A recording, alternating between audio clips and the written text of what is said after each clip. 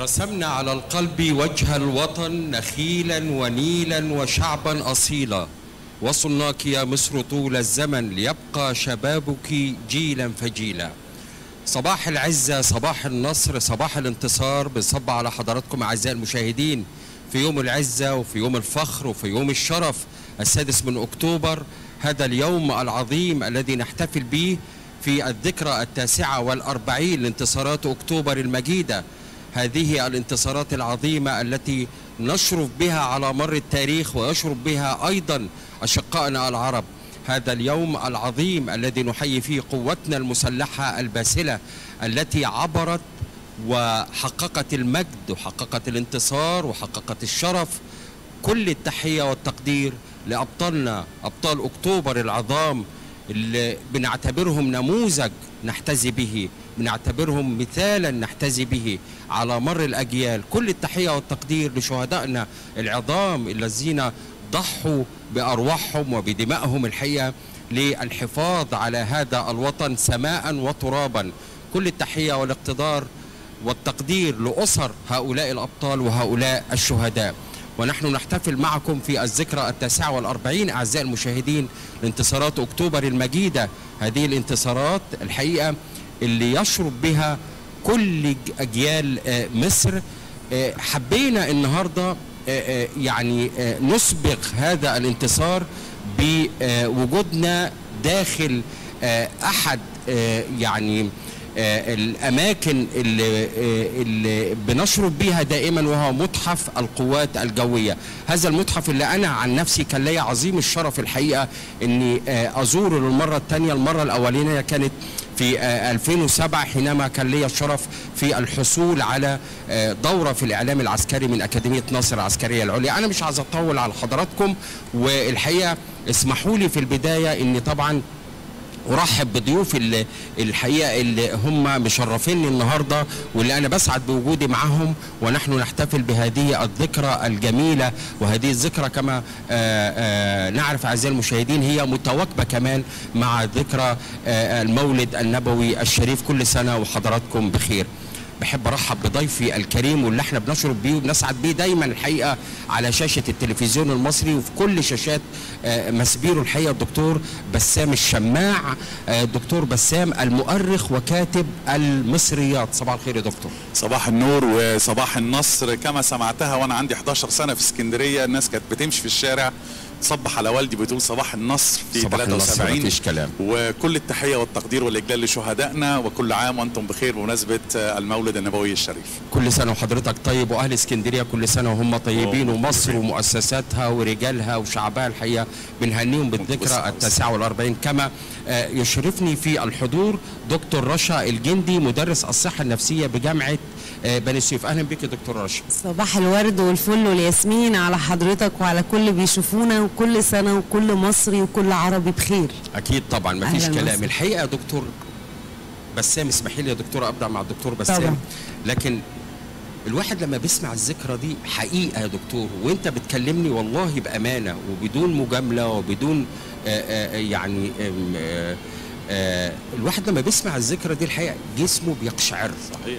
لما أسمع أكتوبر وأسمع الرئيس السادات والمشير أحمد إسماعيل المشير محمد عبد الغني الجمسي المشير محمد علي فهمي آه، الفريق العراب الفريق العرابي الفريق آه، آه، سعد الدين الشاذلي المشير أبو غزالة. يعني نجوم تسطع في سماء المجد والعزة والكرامة والفخر. ال- كتيبة 139 كتيبة الصعقة واللي هي كرامة سيادة الرئيس منذ يومين تقريبا العميد إبراهيم الرفاعي. يعني يعني دول النجوم. أستطيع أن أقول هؤلاء هم النجوم نعم. بدون منازع. صحيح. آه، آه، ما- ما يتحطش حد جنبهم. صحيح. آه، آه، لما نوصل ده للأجيال يا دكتور بسام وحضرتك مؤرخ ل 7000 سنة نقول إيه عن هذا النصر؟ نقول إيه عن هؤلاء الأبطال؟ نقول إيه عن الإنجاز العظيم اللي تم في 1973 العاشر من رمضان السادس من أكتوبر. دي دي بيت محفوظة زي اسم الواحد كده. الساعة 2 إلى 5 ظهرا. نعم. الحقيقة الأول خليني أحييكم وأحيي الإعلام المصري على اختيار المكان. اللي أنتوا السنة دي بتحتفلوا هناخد فكرة. أيضا طبعا عن آه، عن يعني هذا المكان العظيم الحقيقة المكان دوت بيعمل نفس الشعور عندي برضو اللي حضرتك ذكرته آه. أنا قشعريره في البدن القشعريرة كل مرة بخش متحف القوات الجوية وبدعو كل المصريين إن هم يزوروه لأن في وظيفة وهدف آه، للمتاحف يوجد الآن في العالم آه، علم اسمه علم ال museology علم المتاحف. نعم. وعلم المتاحف اتغير يا جماعة من إن أنت تروح تتفرج على أثر أو تتفرج على object أو شيء معين وتمشي لا. أنت هنا بتخش في تجربة وطنية. إحنا بننثر بذور الوطنية في الأجيال اللي ربما لم تشرف بأنها تحضر 73 زي إحنا لما كنا عندنا أنا كان عندي 11 سنة وقتها. اسمح لي في البداية قبل ما نستكمل برضو أوجه كل التقدير والتحية لسيادة اللواء مجدي مدير المتحف الحقيقة راجل فاضل محترم قمة الذوق والشياكة في التعامل الحقيقة شرفنا نعم. بيه طبعا دي حقيقة. يعني لازم لا، لازم فعلا. يعني يعني لا، هذا كلام يعني. إحنا ضيوف في داره فلازم نحييه ونشكره الحقيقة طبعا نعم وعايز أقول لحضرتك المنظومة هنا زي المنظومة اللي موجودة في المتاحف العسكرية فكرة التجربة الوطنية اللي أنت بتخش تستفيد بيها أنت بتعرف تاريخ في متحف زي متحف القوات الجوية بتعرف أول طيارة جابوها الطيارين المصريين طبعا. في معجزة من معجزات الطيران والتحليق. تعرف تاريخ حضرتك ذكرت تاريخ 7000 دلوقتي حتى 7000 ديت اتغيرت ووصلت إلى نصف مليون عام طبقا للعلماء اللي اكتشفوا في الأقصر آثار لنا المصريين من 500 ألف عام على الأقل. العالم الأمريكاني الشهير كانت ويكس أصدر هذا التصريح وهز العالم كله. أنا شخصيا بشرف بإن أنا بستدعى هنا آه، علشان ألقي محاضرات طبعا. آه، في التاريخ العسكرية وجميل إن إحنا ننثر بذور الوطنية عبر. المتاحف دي للأجيال أقول لحضرتك على مثال سريع في الموضوع ده وأقوى وأحسن. منبع إن الواحد ينثر بذور ال ال ال الوطنية من هذا المكان وفي هذه الذكرى لأن بالظبط لأن. اولا قدامك الأدلة آه، قدامك القصة الحقيقية للبطولة نعم. بتقابل امبارح والنهارده ولغاية الاحتفالات كلها بتاعت أكتوبر آه، الشعب المصري هيقابل أبطال بعينهم. أنا امبارح شرفت إن أنا أحط إيدي في إيد آه، طيار آه، من اللي ضربوا مستودع هام جدا في سيناء للأعداء وطيرته من كتر الانفجار ساحت. أنا أول مرة كنت أعرف إن في طيارة بتسيح والأسود الهباب الأسود غطى وعمل لاندنج حط بالطيارة في معجزة آه آه ال- يعني غريبة آه على أعلى مستوى لكن أنا بقول لحضرتك أخيرا أنا ممكن إزاي أوصل وانثر البذور بتاعت الوطنية في الشباب إن عبر التاريخ مثلا نعم. إن أنا بقول له تعالى إحنا عندنا العاشر من رمضان السادس من أكتوبر يوجد معركة عسكرية مماثلة بشكل عجيب اسمها معركة مجدو مجدو بالفعل. وهو القائد العظيم جحوتيمس الثالث اللي إحنا بنسميه تحتمس الثالث. الجيش المصري 17 معركة عسكرية ورا بعض أيام. جحوتيمس الثالث من 3400 سنة تقريبا انتصر فيهم كلهم. أنا بقالي 40 سنة بقرأ تاريخ كمؤرخ ومرشد سياحي وكاتب من مصريات 85 ما شاء الله. من 85 ربنا يبارك لك. بحاول أدور على جيش في تاريخ العالم وتاريخ العسكرية. عمل 17 انتصار ورا بعضه مش لاقي غير الجيش المصري. ونفس صعوبة 6 أكتوبر ونفس صعوبة التوقيت ونفس وعورة الأرض اللي آه، كسبها وهزمها الجيش المصري في العاشر من ضمن 73 نفسها حصلت في مجده من آلاف السنين اذا اللي أنا بحاول أوصل له أخيرا طب نستكمل يا دكتور بعد إذن. حضرتك هنطلع آه، آه، فاصل ونرجع لحضرتك. مرة ثانية بصبح طبعا على زملائي في الاستوديو الزميل محمد جوهر والزميل محمد ترك والزميلة آه، هبة فهمي وكل زملائي في استوديو صباحنا مصري. ونرجع لكم مرة تانية ونحن نتحدث عن يوم الفخر والعزة والكرامة يوم الشرف. ونرجع لضيف الكريم دكتور بسام الشماع دكتور قبل الموجز طبعا كنا بنتحدث عن آه، آه، يعني إزاي ننثر بذور الوطنية والانتماء في الأجيال؟ نعم كنا بنتكلم عن إزاي إن إحنا نستطيع إن إحنا نوصل لهم على طريق التاريخ والأحداث التاريخية. لأن أي أمة هتنسى تاريخها أو مش هتذاكر تاريخها كويس مش هتعرف تستشرف المستقبل بتاعها بشكل واضح.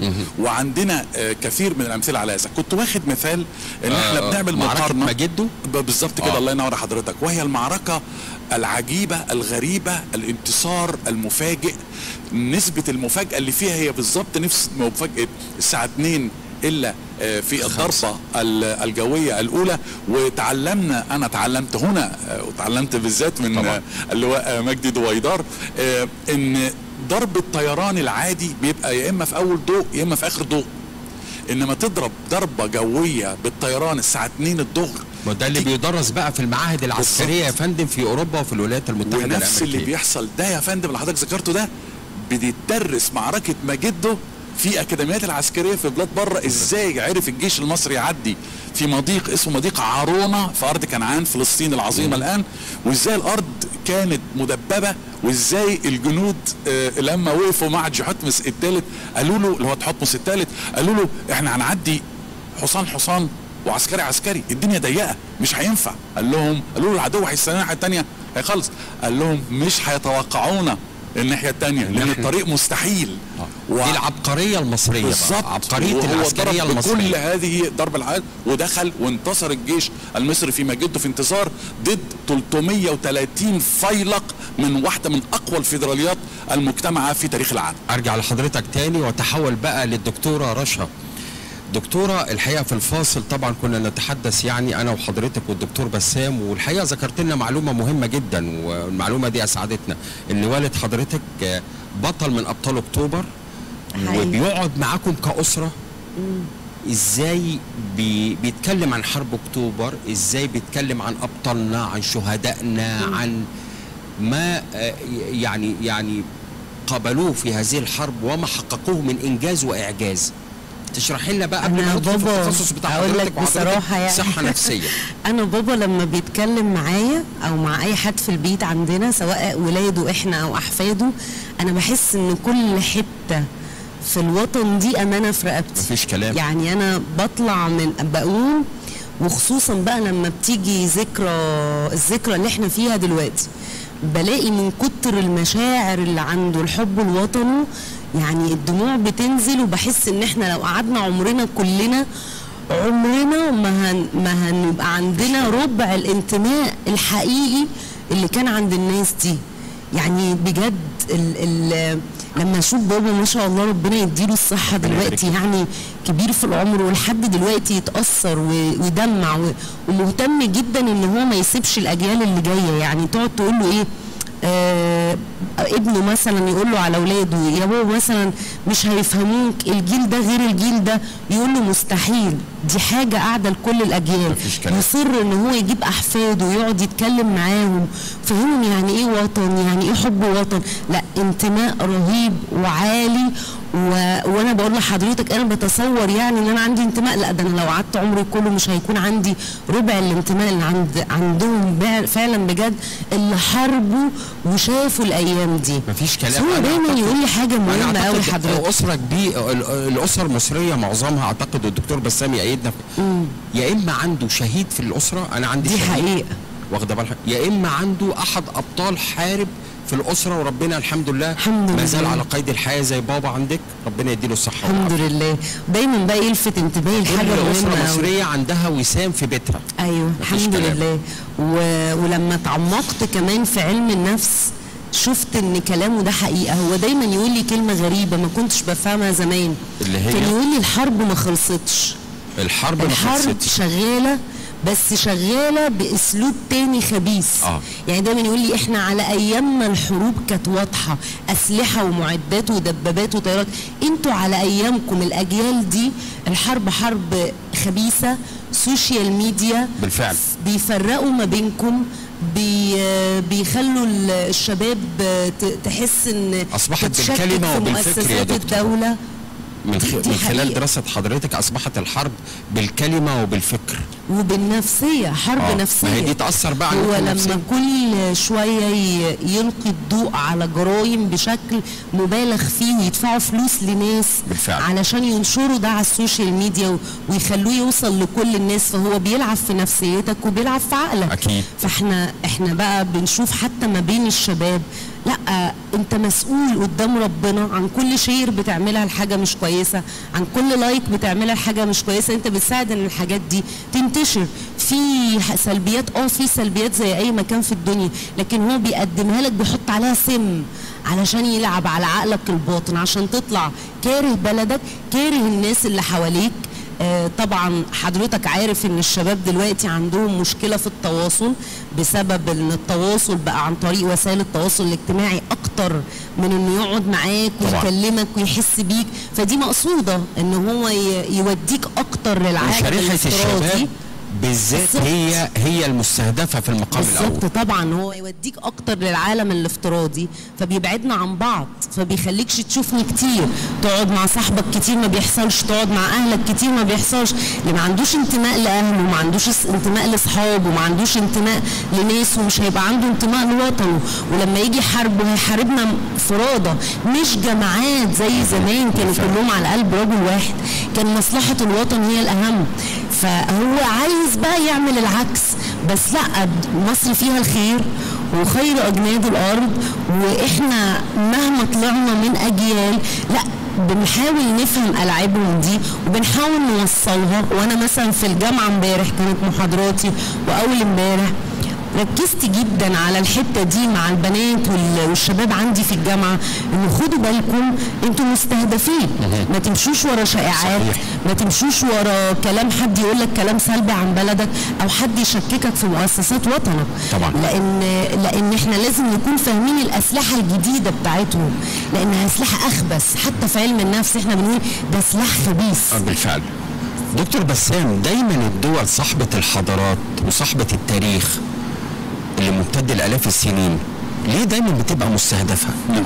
ليه الجديد ما بيبقاش ده مستهدف؟ سؤال هايل على فكرة ليه القشري ما بيبقاش مستهدف؟ ليه صاحب الجذور هو اللي بيبقى مستهدف؟ صحيح لأن هو حاول ينتزع جذورك وفشل مم. فشل من الناحية العسكرية وده كان واضح جدا حتى أيام آه، بعد الستينات يعني آه، أنت أول عبور لك علشان ده بنعلمه للشباب حتى عن طريق الميديا اللي كل شوية تقول لك أنتوا كنتوا فين قبل 73 طيب قبل حرب الاستنزاف فهقول له ده إحنا أول عبور كان بالظبط 20 يوم بعد انتهاء المعركة اللي هي أنا لا أعتبرها معركة في 67 يعني أول عبور راس العش كان معركة راس العش العظيم اللي لازم الأفلام يا مخرجين مصر اعملوا لنا. فيلمين ثلاثة ايبك عن. ملحميه عن حرب الاستنزاف زي اللي إحنا شفناهم زمان فإذا الفكرة في إن أنا أجي انتزعك عسكريا باخد علقة منك.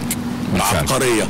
وإنت حرب استنزاف ست سنين قدرت تكسب فيها وتكسب أرض وتكسب خبرة عشان 73 تيجي تخلص كله. ثم بعد كده بذكائك الدبلوماسي وبثعالب الدبلوماسية المحترمين قدرت إن إنت تسترد. لو رجعت حضرتك للتاريخ وفكرة الجذور وفكرة إزاي أنا أصدر طيب ما أنا هاخد نفس السلاح زي ما أنا أخدت أسلحة في 73 وظبطتها المصري القديم على فكرة عمل كده لما الهكسوس الحكاية وخاسوت احتلوا شمال مصر أطول مدة احتلال كان معاهم إيه؟ كان معاهم العجلة الحربية وده كان. اختراع وقتها المصري القديم في الجنوب عمل إيه بقى في؟ فيها. راح واخدها وصنعها. وراح مصنعها. وخففها زي ما أنت عملت كده في الصواريخ كده بالظبط أخدتها والجندي المصري في 73 بعبقريته قدر إن هو يضيف أشياء معينة أنت في معركة خففنا الصواريخ وزودنا تنكرات ال- البنزين في الطائرات ولذلك حضرتك في معركة عشان تطير كده. أكبر. معركة أهو. المنصورة 14 آه، أكتوبر اللي هو عيد القوات الجوية ونصورنا العظام انت كنت قدام طيارات امريكانية الب... حتى البنزين أو الخزان بتاعك مش شايل نفس المدة بتاعته مع هذا هزمتهم عبقرية. نفس القصة حصلت في مصر القديمة وبالتالي أنا بس هطلب أخيرا إن نفس السلاح اللي الدكتورة اتكلمت عليه وهو سلاح الجيل الرابع أو حروب الجيل الرابع أو الإنترنت أنا هستخدمه وهظبطه لصالحي وبرضه ههزمه بنفس الطريقة. أكيد. دكتورة رشا حضرتك ك ك ك ك آم، متخصصة في هذا المجال الصحة النفسية إزاي هذه الإشاعات و و و و و والتلاعب في فكر وثقافة المجتمع المصري بالأخص في شريحة الشباب إزاي إزاي أنتم بمنهجكم وبعلمكم تقدروا يعني تقطعوا دابر هذا ال- ال- السرطان؟ وفي نفس الوقت إزاي أنا أحدث في شريحة الشباب التوازن إن البلد دي صاحبه تاريخ آه، جذورها ضربة في أعماق التاريخ كل اللي بيتقالك من بره لو ما أنت مش ناجح محدش هيعاديك. لو انت لو أنت إنسان فاشل أو دولة فاشلة محدش هيعاديك ما أنت خلاص فاشل. إحنا لكن أنت عشان ناجح وعشان بتعمل خطوات لقدام وقفزات فشيء طبيعي الشجرة المثمرة اللي هي نظرية الشجرة المثمرة يا دكتور بسام. إحنا بالنسبة للشائعات آه عندنا أكتر من طريقة في علم النفس على حسب نوع الشائعة. يعني في شائعات المفروض نتجاهلها ما نسلطش عليها أي ضوء خالص. وفي شائعات لازم نرد عليها ونرد بأسلوب اللي بيقدمها زي ما زي ما حضرتك قلت. يعني لو هو قدمها بطريقة إحنا بنفس طريقته بنرد عليه وإن إحنا نصلحها في عقول الناس يعني. دي حاجة. الحاجة التانية بالنسبة للشباب ده موضوع لازم تشتغل عليه كل مؤسسات المجتمع. بحيث إن مجال التعليم مثلا بيشتغل على المنطقة دي مجال الإعلام بيشتغل على نفس المنطقة. آه يعني بيبقى في تعاون وترابط ما بين مؤسسات المجتمع إن إحنا نوصل لكل بني آدم في الوطن ده إن أنت دورك إن أنت تبدأ بنفسك. كل واحد عليه دور في مكانه. الام عليها دور إن هي تبدأ بنفسها وبعيالها اللي مسؤولين منها إحنا في الجامعات علينا دور ما أقدرش أقول حاجة للطلبة عندي غير لما أبدأها بنفسي أنا الأول بالفعل. أعملها بالفعل. زي لما بقول لهم ما تصدقوش. به طبعا. بالظبط. أما أقول لهم ما تصدقوش ال- الحاجات اللي بتتنشر و- وما تعملولهاش share وما تعملولهاش like على الفيسبوك ما ينفعش يدخلوا على صفحتي يلاقوني أنا عاملة share و like لحاجة ما ينفعش. تجاهلوا كذا واعملوا كذا فإحنا بيبقى لينا دور مثلا هنا في المكان التحفة ده سياده اللواء حضرتك يعني قدمتوا ليه الشكر سياده اللواء مجدي طبعاً، طبعاً، راجل من فاضل محترم. النماذج الرائعة من النماذج الرائعة بالفعل. فعلا اللي تخيل حضرتك بيهتم لو لقى طفل صغير عنده آه، في حاجة كويسة يدعيه. هو ده نموذج القيادة بقى صحابك. إحنا فعلا بنتكلم على نموذج القيادة بقى. آه بيدعوا كل بالشياكه المستويات. بالسس بال... آه. بالمقابلة بتبقى إزاي؟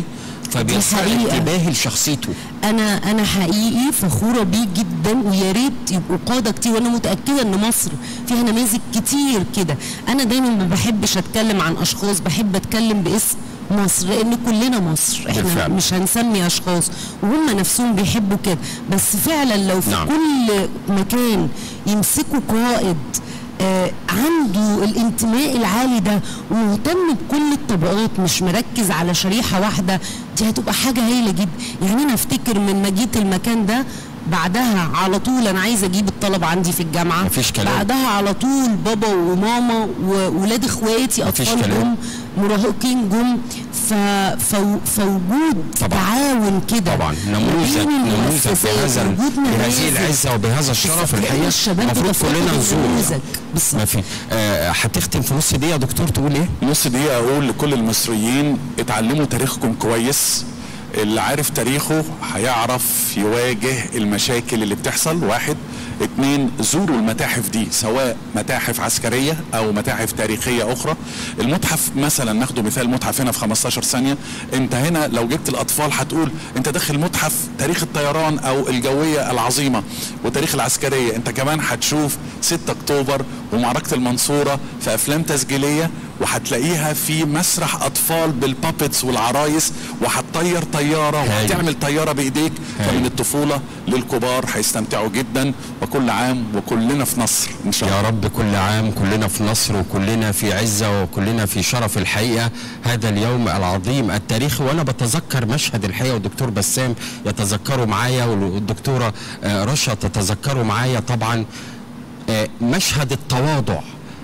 الرئيس الشهيد البطل الراحل محمد أنور السادات في مجلس الشعب حينما حيّ آه، سيادة المشير أحمد إسماعيل علي آه، القائد العام للقوات المسلحة في ذاك الوقت وأشار إليه بالبنان وقال تحية لقيادة القوات المسلحة التي خططت ونفذت ووقف المشير عليه رحمة الله أحمد إسماعيل وارتدى الكاب وأعطى التحية للقائد الأعلى للقوات المسلحة وإحنا برضو بندي التحية لقواتنا المسلحة أن تشرف هذه الأمة. في نهاية هذا اللقاء لا يسعني إلا أن أشكر ضيف الكريم العزيز علينا دايما دكتور بسام الشماع شكراً. شكرا يا فندم.